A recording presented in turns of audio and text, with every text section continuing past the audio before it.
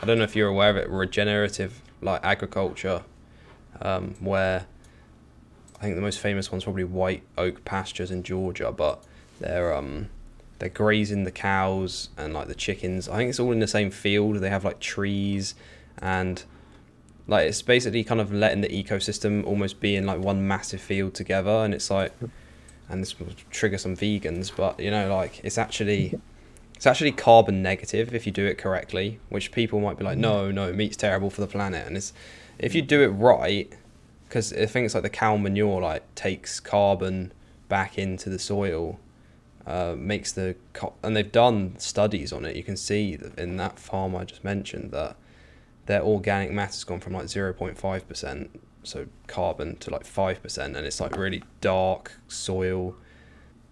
That's a whole nother conversation about the whole is meat bad for the planet, but um, we can do that if you want. But I don't think it is necessarily. Um, but like when you treat the ecosystem how it's supposed to be, it kind of works pretty well.